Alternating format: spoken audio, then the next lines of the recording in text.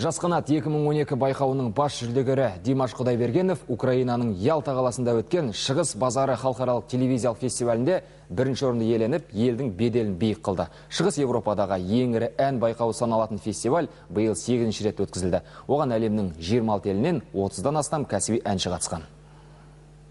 Әкесі қанат пен анасы света айтбаевтардың бойындағы өнерден сусында бойына дарытқан әнші димаш кәсібилігін тағы бір мәрте дәлелдеді жақында ғана астанада өткен жас қанат 2012 байқауының жеңімпазы атанған ол енді халықаралық фестивальге барып елдің абыройын асқақтатты.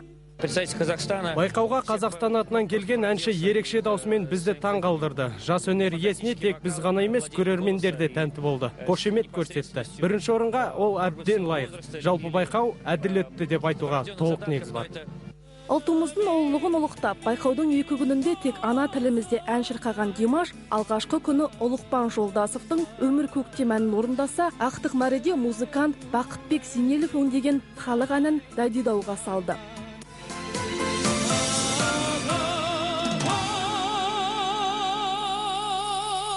арманыма жеттім.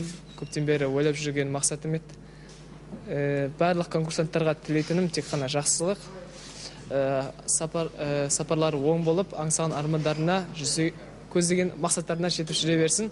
Одан әрі белестерді бағындыруға барым салам деп айтқым келеді.